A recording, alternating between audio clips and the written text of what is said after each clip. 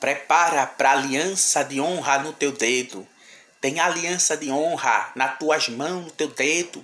Eu vejo você mudando de estágio. Uma grande aliança brilhante. Alguém colocando no teu dedo. Oh glória! E muitos fogos soltando. Aleluia de alegria. Porque a honra de Deus está chegando sobre a tua vida. Ei, escuta, o Senhor está dizendo: tem honra para ti tem aliança para o teu dedo, tem mudança para a tua causa. Descansa, rapaz. O Senhor está dizendo para você, aleluia, que prepare, porque chegou a aliança, chegou, a esse, chegou um negócio novo para você que Deus está trazendo.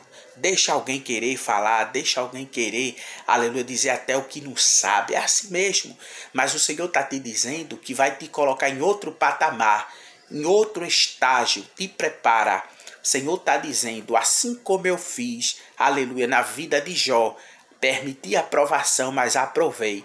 Deus está dizendo para você, irá te aprovar na íntegra e você vai mudar de vida.